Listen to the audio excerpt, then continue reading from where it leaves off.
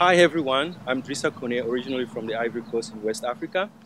Um, I'm graduating today, getting my doctorate degree, uh, doctorate in ministry, uh, focusing on peace and justice.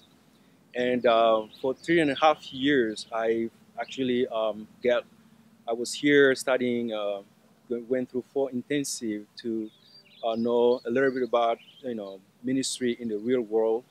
And I wanted to actually address a specific issue um, um, in society, uh, which is uh, conflict resolution between different culture.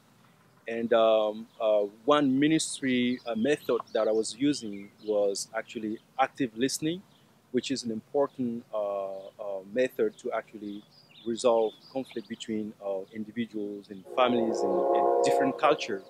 So um, the, during my two years experience learning here, I got a lot of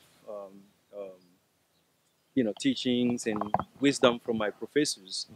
And, um, and I actually do my, did my project on the diaspora, African diaspora, Ivorian diaspora in New York, where I actually worked to bring all the different group, uh, culture, religious, and, and uh, political leader, leader together to do a peace conference.